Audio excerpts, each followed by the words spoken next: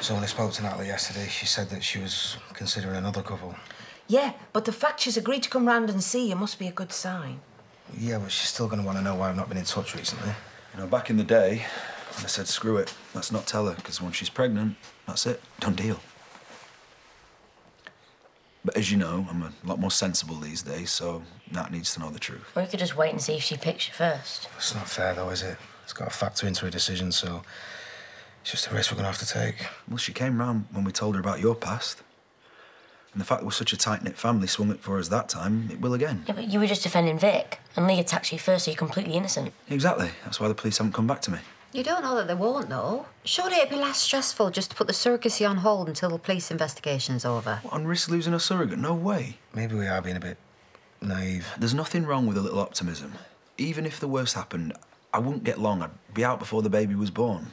It was self defence. So when Lee comes round and wakes up, it'll be his word against ours. And we'll talk that round, just like we did before. Aye. don't worry, I've locked my mum in the pub cellar today, so your car keys will be safe. It's great to see you. Thanks for coming.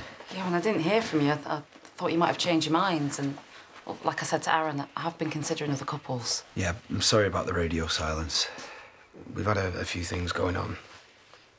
Yeah, um, and in the spirit of complete honesty, there's something you should know.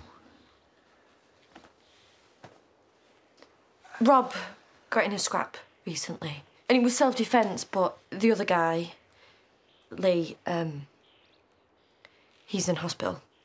Is he going to be okay? Hopefully. Um, he's in a coma. Oh my God, what did you do to him? It's nothing that bad. A coma sounds pretty bad to me. Right, I'm just going to come out and say it because you need to know why he hit him. Lee. Lee raped me, and he was goading us about it. And then he went for Robert, and Robert was just defending himself and me.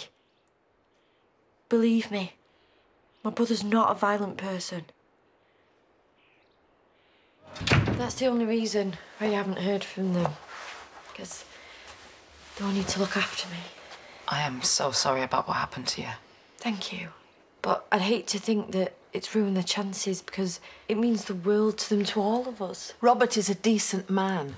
That's why I wanted to warn you about this, in spite of the fact that he hasn't. I'll get it.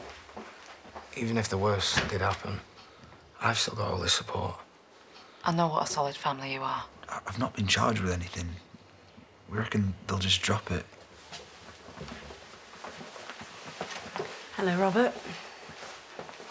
Lee Posner's woken up. And his version of events don't match yours. Sir Robert Sugden, I'm arresting you on suspicion of GBH. You do not have to say anything, but it may harm your defense if you do not mention, when questioned, something you later rely on in court.